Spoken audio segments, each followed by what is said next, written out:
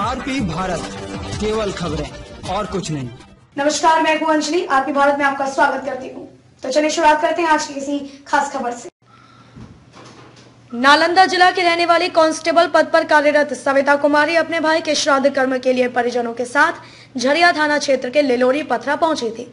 रविवार को सविता कुमारी ने झरिया थाना में लिखित आवेदन देकर वहीं के रहने वाले जोगिंदर राम, प्रेम राम, सविता देवी, पूजा देवी, चांदनी देवी सहित अन्य लोगों पर मारपीट एवं छिनतई का आरोप लगाया है। सविता देवी ने बताया कि बालूगदा जोड़िया नदी में नहाने के लिए गए थे। इसी दौरान जोगिंदर राम का बेटा, प्रेम राम और उसकी बेटी आई और उसने कपड़े फेंक दिए और मारपीट करने लगी। किसी तरह हमने भागकर अपनी जान बचाई।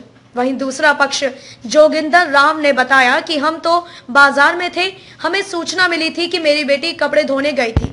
बगल में सविता कुमारी भी कपड़े धो रही थी।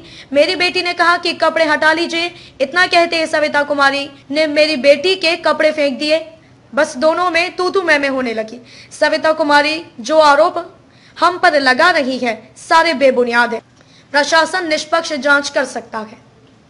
झरिया से मनोज साव की रिपोर्ट। परिवार के साथ में? ऐसा कुछ नहीं है। जब हम मैंने बाज़ार में थे, हमारा बच्ची जो है, दोनों कपड़ा धोने लिए गई। तो वो जो कपड़ा धो रहा था तो उसने बोला कि जरा सा एक साइड कर लो और उधर हम जान लेते, चाहे उधर छुटका वाला कपड़ा है। तो उन्होंने हटाया नहीं और बल्कि गुस्सा के मारे मेरा बच्ची का कपड़ा जो है कि उठा फेंक दिया। नदी में तो उसके बाद टुटू मैंने हुआ है उसी में उसको पूरा झोंटा पकड़ करके मेरा बच्ची को पीटना शुरू कर दिया। और उसके बाद? है जो कि मैंने एक नहीं करीब छह सात वो महिला थी सब मिल करके उसको डंगाने लगा मेरे दोनों बच्ची को। उसके बाद कान में सोना का चैन था तो मैंने वाली था फिर मंगलसूत्र था। तो सारा कुछ नोच दिया। दसवां था तो हम बालू गदा घाट पर गए थे कपड़ा धोने के लिए स्नान करने के लिए। हम वहाँ पे मेरे मम्मी पापा भैया थे और दीदी लोग थी तो हम लोग कपड़ा वहाँ पे नहा स्नान कर रहे थे। उसकी बेटी जोगिंदर की बेटी आई आई हमको पानी में ठेल दिया मेरा कपड़ा उठा के फेंक दी। अब उतने में झगड़ा करने लगा प्रेम ज़्यादा प्रेम राम वहीं पे था।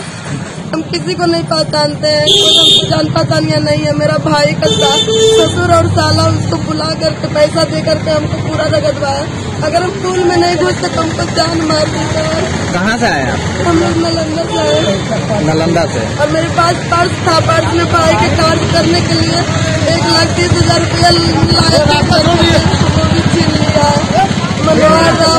इसकी लिखित शिकायत किए थे? अच्छा। क्या करते हैं आप? दमदार निर्माण का भरोसा, लाल स्टील टीएमटी बार्स। हर निर्माण के लिए उपयोग लाल स्टील टीएमटी बार्स। रिश्ता, मजबूती का।